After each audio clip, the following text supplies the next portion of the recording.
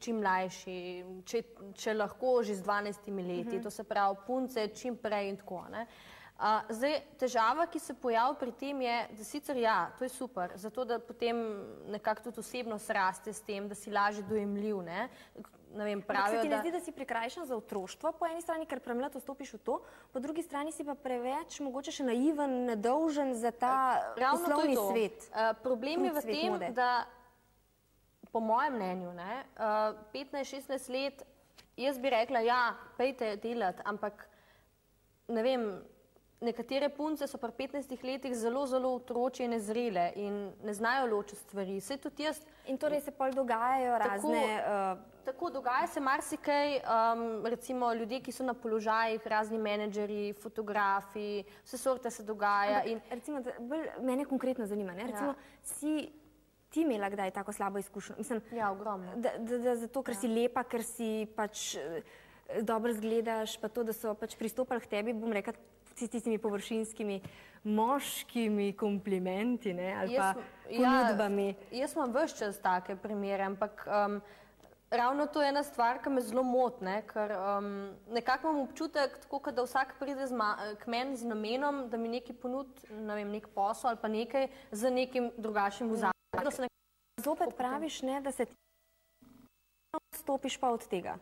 Ne, jaz sem se s 15 leti odločila, da bom delala kariero. Jaz se pri 15 letih nisem odločila, zdaj bom pa jaz mamica, bom imela tri otroke, imela bom družinsko navadno življenje, uh, zdaj bom jaz vsakdanja žena in to bo to. Jaz sem se pač odločila, jaz bom imela kariero, jaz hočem nekaj sebe narediti, jaz hočem pač biti kreativna in hočem vse to, kar imam v sebi, dati ven, vse potencijale izkoristiti. In Mislim, glede na to, da sem se takrat tako odločila, me nič ne more premakniti. In vsako leto več kot doživljam tega, močnejša sem Več in se še bolj si želim in še bolj rinem naprej. Tako da Ampak to je ne zanimivo, ne?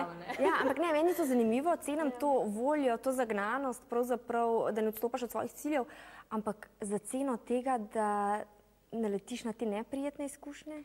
Ja, jaz mislim, da neprijetne izkušnje so v vsakdanjem življenju. Mislim, jaz, če bi bila ne vem, navadna punca, pa da bi šla ven žurat, se mi tudi lahko zgodi, da mi nekdo nekaj ponudi. Se to ni samo v modnem svetu ali pa v medijskem svetu, da zdaj pa, če si ti izpostavljen medijsko, da ti pa nekaj ponujajo. Mogoče si celo manj upajo v tem primeru, ne? Amp, ker mislijo pač, da nisi več tako naiven. ne. Uh, ampak Pač mislim, da to ni odvisno od tega, kje si. Seveda, če si v modnem svetu, si veliko bolj izpostavljen in se družiš z ljudmi, ki pač potencialno ti lahko nekako škodujejo Okej. oziroma ponudijo marsikaj, ampak to pa ni razlog, da bom odstopila od tega, Okej, nikakor ne. okej. Uh, Artur, še eno vprašanje za tebe imam. Uh, mene pa zanima, recimo, uh, ni skrivnost, ne, uh, da si bil, če se ne motim, štirikrat poročen. Sem, Ja. prav, to- pa sem prav to preštela. In sem še zmeraj. No, Četrtič, tako ne? Ja. To je četrta zdaj. Uh, recimo, kako so pa tvoje srčne izbranke uh, sprejemale zdaj to dobro? Da ne omenjamo, uh, na zadnje je bila najbolj taka odmevna tvoja poroka z Latojo, no? ampak kako je to, se ti zdi, da ta ljubezensko področje, ki trpi zato, ker si bolj prepoznaven, ker pač vidijo v medijih, kaj se dogaja, mediji dajo določeno sliko, Ja, če dalje bolj trpežne ženske dobivam. Ne? Ker zdaj se recimo po tistem, ko sem se razšel z Latojo, to je bilo enkrat konc maja lani, uh, takrat nisem imel pol nobene punce, tako dobro, z eno sem spal, no, vmes. Pol pa ni bilo, suša je bila celo poletje, hočem reči, um, ni, bojijo se me, ne. Jaz veljam za nekega blaznega, da nam rekel kaj, ne. ampak danes pa tako miren, ne, Ja. pa mislim, Ja, malinovci. Ja.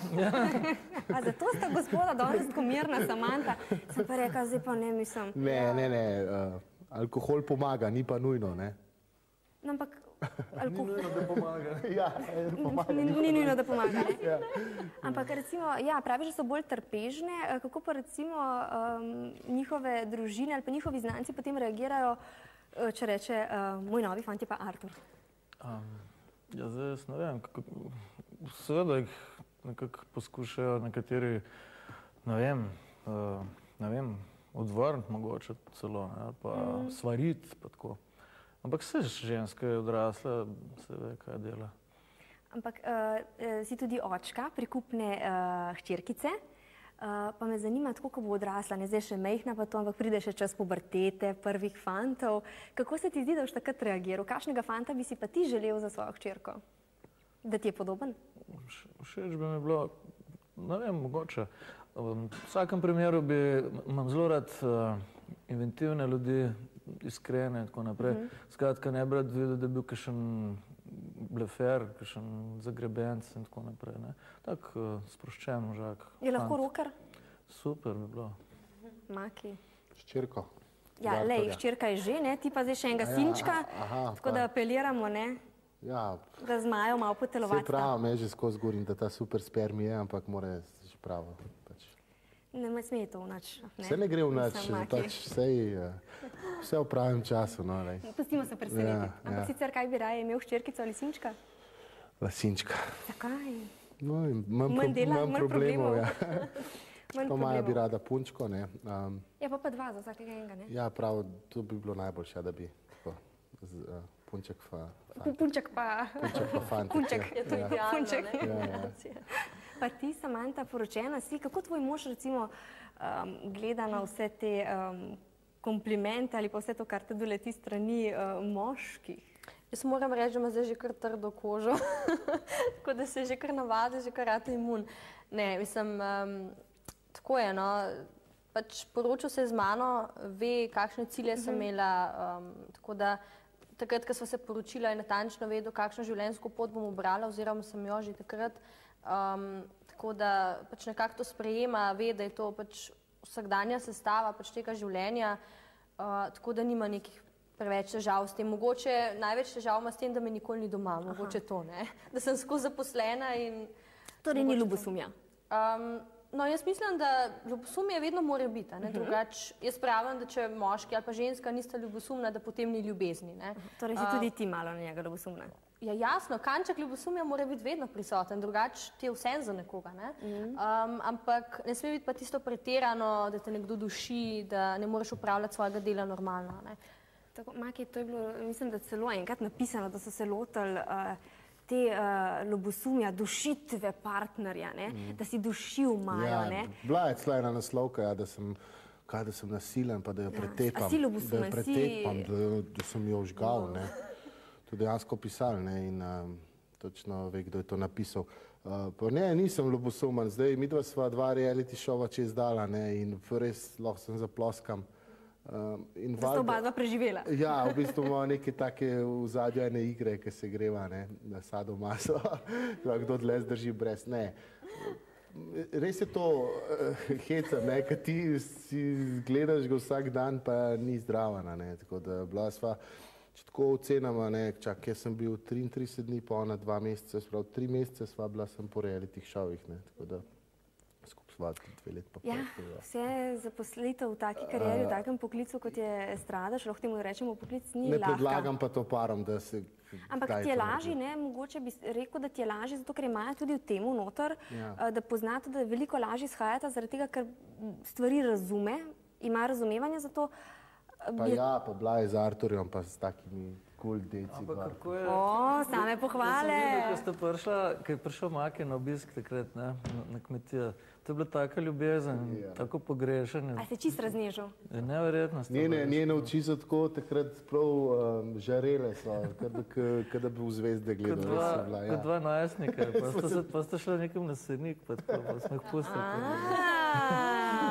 Pa nismo videli. Ja, Dobro, da. Artur še kaj pove. Dobro, da Artur še kaj pove. ja. Ja, Ne, super. ampak je lepo, ne, imeti nekoga, Ja. ki je v istim temu, da lažje Ja. shajata. Fino je, fino je, ne. super.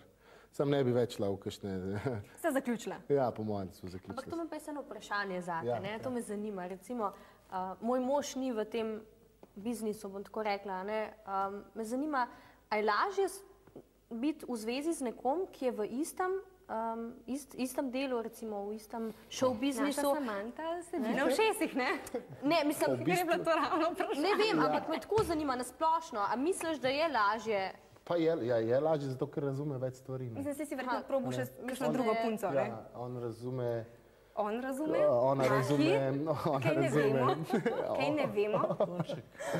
on, Artur, se včasih malo Aj, po, O. požlajfava.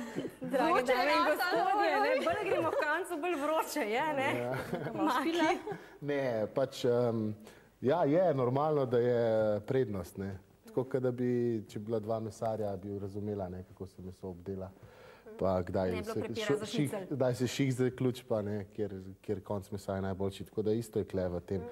Zdaj, to ni nek posel, da bi živel od tega. Ne, a Ne, veš, jasno, ne, to je to je tako trenutek v bistvu. življenju, ki ti, ki ti pač si bil izbran in si tam in uh, preživiš to. In razumeš, ne, jaz dosta stvari pa maj nisem razumel, ne, pa kako, zakaj je to gor dol. Ne. In pa, ko sem sam videl, je bilo to, sem sam sebe prebičal. O, Lepo, lepo, da si priznal eh, napako, Ja. bomo rekli. Artur, eh, zanima me še tako, eh, ker smo ravno zdaj gremo proti koncu. eh, Ti si brez dlake na jeziku in to je prava redkost v Sloveniji. Eh, Se ti zdi, da te je kdaj to teplo? Ja, seveda. Čeprav brez dlake na jeziku lahko pomeni tudi, da bi bil človek nasramen ali pa kaj takega. To pa jaz niti nisem. ne. Bomo rekli odkrit, eh, Odkrit pač da ja, poveš ja. svoje mnenje. Pa tudi včasih recimo ne bom komu direktno povedal, le, ne bom, jaz recimo zanč, uh, Marjanci, jaz nisem nikoli rekel, ti si pa zankurc pisatelj, recimo, ne. Ampak uh, lahko pa, če se mi pogovarjamo, pa lahko rečem, morda, morda pa to ni to, ne, v tem smislu. Tako da ne bomo nekoga direktno šli prizadeti, pa bomo skratka malo drugače povedali, kot pa bi lahko. Ne. Zdaj, kar zadeva pa moja odkritost na splošno, sem pa zelo veliko prijateljev na ta način distanciral od sebe, oziroma so se oni, ker sem dejansko sem tak človek, da pa res vse povem, ne, in to tudi take hude zadeve, ne, mislim, kakšne seksualne in tako naprej. In pa se me kar malo bojijo, kakšni ljudje, ne, eh, tudi taki bližnji. Tisti, ki pa zdržijo, so pa toliko bolj Ampak to je kvalitetni. Prava tako. pristnost, ne, Tako, to je to. tako. Te, v tej pri- pristnosti mogoče ni v tem uh, estradnem svetu, v tem uh, namišljenem medijskem svetu, bi Ja, lahko to je rekli. vse fikcija, ne. Vse fikcija. Mm, dajmo domišljiji prosto pot ne? na to nedeljsko popovdne, kaj vse se še lahko zgodi. Ne? Maki se tukaj le uh, hihlja, ne? Ja, ja. v planu je sinček, smo slišali. Ne? Artur, smici ga bomo naredili danes. Smica, gremo, Aha, a, gremo na primorsko. na Ja. primorsko. Artur, Ja, kakšni so pa tvoji plani? Kaj bomo lahko še zasledili, kje te lahko pričakujemo? Zopet kakšne volitve? To skoraj gotovo, ja. Za vprašanje, mene sprašuje, kako bom zdaj to kampanjo pelil. Tega jaz ne vem, ampak konec koncev mene sama kampanja me ne zanima kot to, da me zdaj nekoga nekaj zvleku na volišča. Što se je za tem, da se želim, da bi dejansko z idejami človek prodaril, se pravi, da govorimo o resnih vrednotah, o u- ukinjanju, vem, kapitalizma, o, o kaznovanju tistih ljudi, ki so ljudi na cesto vrgli, o dejanskem, ne tistem, da se neki, ampak da, da gremo v te smeri, ukinjanju same politike in tako naprej. Ne? In vpliv nekega predsedniškega lika, ki bi to pač lahko jaz bil, ne? v smislu nekega Gandijevstva, da, si, da nisi več tam nek, uh, nekdo, nek medved, ki se ga okoli kaže, ampak da je nekdo, ki to res, ki, ki, ki zna nekaj. udejanja svoje besede. Evo. Idealna priložnost, mislim, da, da bo zmagal. To, to, tako, to je bilo že nagovarjanje, nagovarjanje bodočih morebitnih volivk in voljivcev. Samanta, kaj pa ti? Kam te bodo odnesle dolge noge? Kratko in jedrnato. Ostaješ zvesta modi? Uh, ja, vsekakor v modi ostajam, uh, zdaj se širim še malo v tujino, tako da bo še kar nekaj projektov je v planu. Uh, zdaj je moja kolekcija oblačil tudi ena stvar, ki mi zdaj veliko časa vzame, tako da je to je tudi še plan v letošnjem letu, da to spravimo ven. Potem pesniška zbirka, seveda zdaj, uh, glede na to smo imeli prejšnjo leto mečkan zapletov, a ne s tem, um, pa glede na to, da imam že tri napisane, zdaj čas, da se prva že hitro izda. Tako Tako da to je- tudi lahko pravzaprav Arturju v predogled, mogoče za kakšen nasvet, ne? Tudi ti si pisal. A res? Ja, pa založbo imam tudi. Super, evo. Tako da, se evo. povezala. Super. Še nekaj dobrega se bo izcimilo iz te vdaje. Ja, zagotovo. Maki, še- ti pa kaj, Štefan ima nekaj najdati. ja, tudi jaz bom to modno kolekcijo zdaj bom malo počakala. Bomo malo počakala modna kolekcija. Kopalke.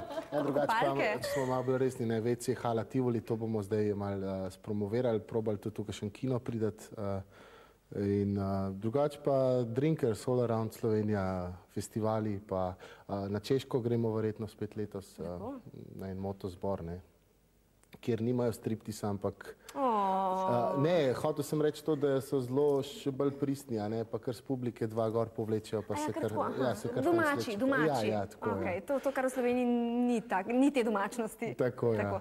Ja, hvala vsem trem, da ste si danes vzeli čas, da ste tlele poklepetali, da ste pravzaprav tudi polepšali nedeljsko popovdne vsem našim gledalkam in gledalcem, ki upam, da ste tudi uživali na račun naših gostov, da ste nekaj novega izvedeli in da je tudi nedelja slajša.